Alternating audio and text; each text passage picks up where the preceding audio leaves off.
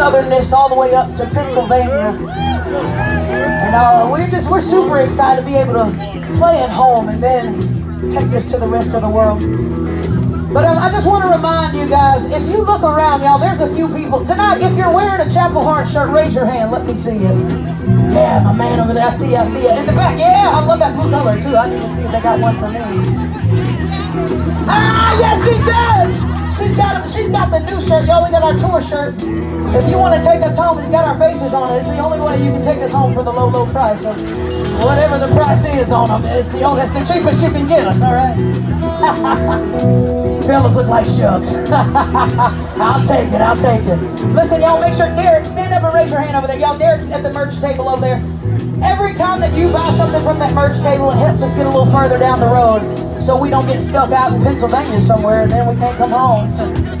So yeah, how you doing, man? How you doing? Good to see you, man. Yeah, Bub's ready, man.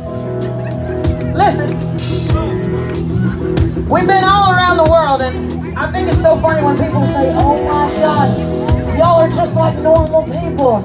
I was like, I don't know what that means, but I. We don't know how to be nothing other than Mississippians, I don't think.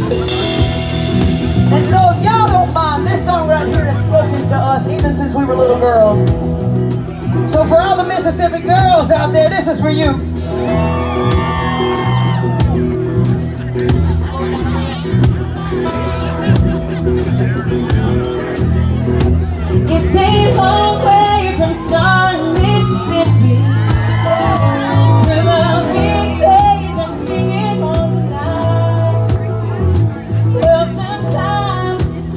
wonder if